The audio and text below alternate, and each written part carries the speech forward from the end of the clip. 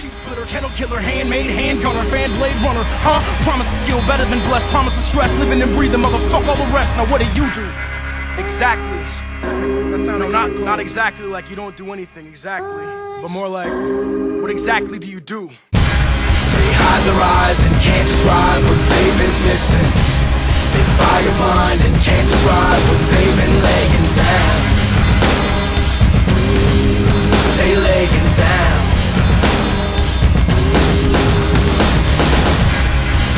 Hide eyes and can't describe